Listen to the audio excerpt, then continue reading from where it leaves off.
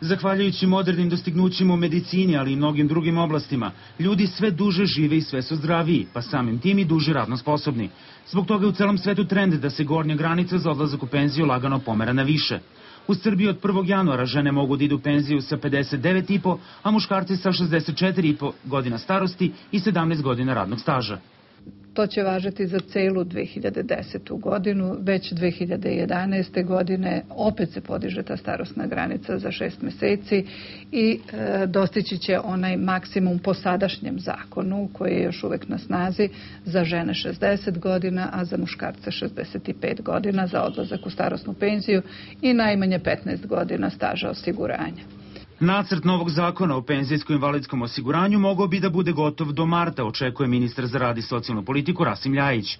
Kako kaže, sigurno je da neće doći do izjednačavanja praga za odlazak u penziju za žene i muškarce, ali napominje da ima nekoliko stvari koje je potrebno rešiti.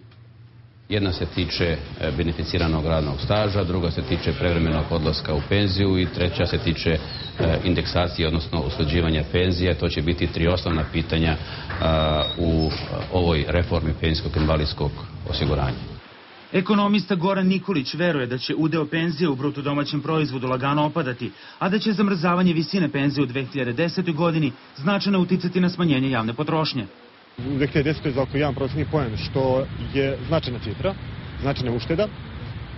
A u 2011. godini sa primjenom novog principa, koji znači najverovatnije će biti, a, penzije će biti usklađivane sa stopom inflacije, plus razlika između a, ostvarene stope rasta i manje 4, što znači da ako stopa rasta bude veća od 4% poena za sve preko toga penzije će biti dodatno povećane. U Srbiji ima oko milioni i po penzionera. Na njihova primanja izdvaja se blizu polovine srpskog budžeta.